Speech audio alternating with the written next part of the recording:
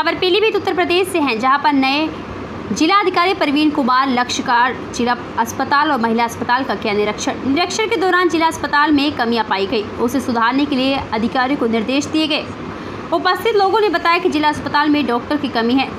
जिला अधिकारी ने प्रशासन को उक्त समस्या से अवगत कराएँगे। उन्होंने कहा कि जो भी डॉक्टर नहीं हैं, उनकी कमी पूरी की जाएगी। साथ ही जिला अधिकारी ने हिदायतें देते हुए कहा कि जो भी कमियाँ हैं, उसे सुधार लिया जाए, नहीं तो उस पर कार्रवाई की जाएगी।